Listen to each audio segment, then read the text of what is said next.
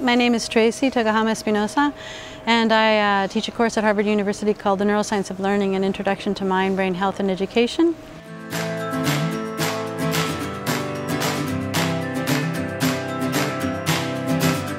Meaning making in the grand description that I would give it, which is understanding how other people are thinking, how other people are feeling, and then understanding why their contextual understanding would make them do that or think that or feel that is very, very important as, in far, as far as education is concerned, especially in being effective in education because those variables change a lot. And a lot of the times teachers are just taught how to design a curriculum and then maybe some pedagogical tools. But if you don't understand the concept of meaning making, of why it's necessary to understand the thinking and the feeling and the context behind it, it's impossible to really have long-term learning. And so I do think it's very, very important.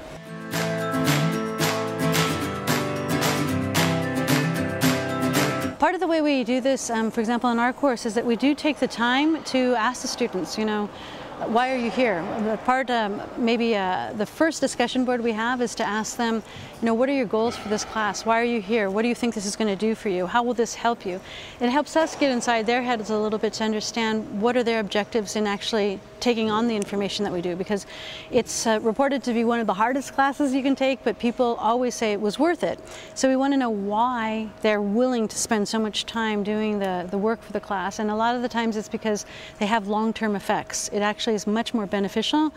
Um, if you're only there to get an A for, and get a degree, don't take my class. But if you're there because you want to learn for your life, I still have people who write me probably once a week. I get an email from an old student several years ago who says, you know, do you remember when you said this? This really changed my life. And I think that's what I'm after. I'm after having a long-term impact on people's learning.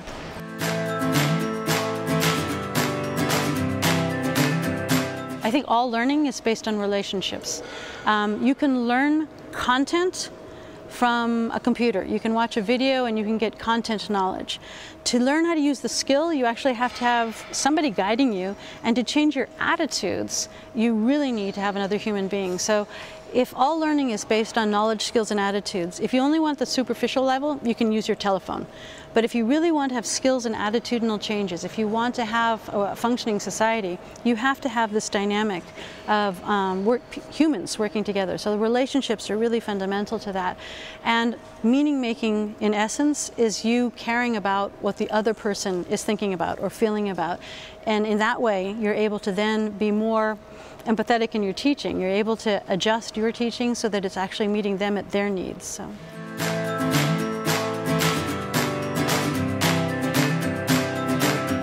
I have a, a, book that has over 70 neuromyths, but I have been told many times, and it was brought up here in the conference, one of the probably the worst neuromyths that exists are that um, men and women are, have different ways of thinking, and they're good for different types of professions, or they should do different types of things because their brains are set up like that.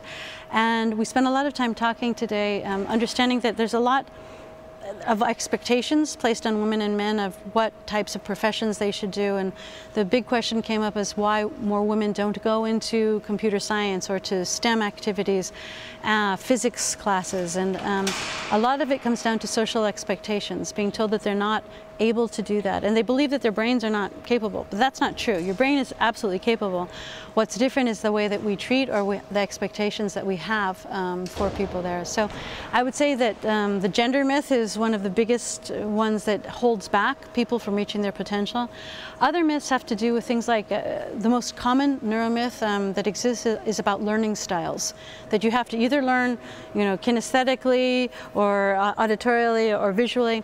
That's a total myth. Your brain is desperate to receive information from all the senses, but we don't often teach through all the senses. We, we just talk at people. And so part of the idea here is we could change a lot of that if we were more aware of those types of myths and not categorize people into different ways. That myth does a lot of harm because people think, well, my learning style is visual and the teacher was auditory, that's why I failed in the class that couldn't be farther from the truth. So if we can get rid of the myths, then we're able to use the good information, the, the few things that we really know about the brain to improve teaching.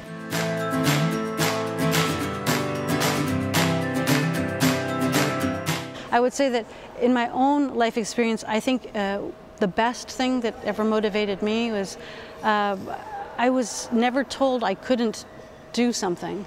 Um, and I know this is, you know, I grew up in Berkeley, California in the 60s, and the idea was if they evaluate me, it's to help me. And so I was never told you're bad at this or that or the other thing. I was told next time try to do this. And it opens up your world when you're not judged, when you're just told that you can do things. And I think that that kind of formative experience is very important, but you can do that with older people as well. So um, not putting limits on people, I think is a great way to start.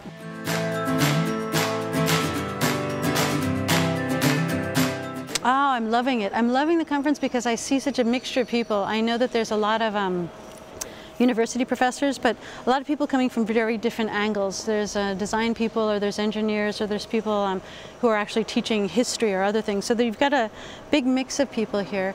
And I think that there's a genuine uh, interest, which I really love, to improve university education. And this is one of the first times I've actually seen that. When you go to kindergarten, you work with preschool, everybody is very up to date and they're changing all the time.